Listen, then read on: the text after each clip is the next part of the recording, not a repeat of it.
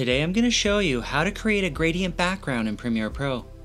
Go over to the project window and right click, select new item then color matte, then choose a color that you want to use as your base. Now drag your color matte onto your timeline, then go and click on your shape tool. Go over to your preview window and create a single large shape on your screen, then go over to Essential Graphics and change the fill color to white. Now go to Effects and search for Gaussian Blur and add the effect to your shape layer.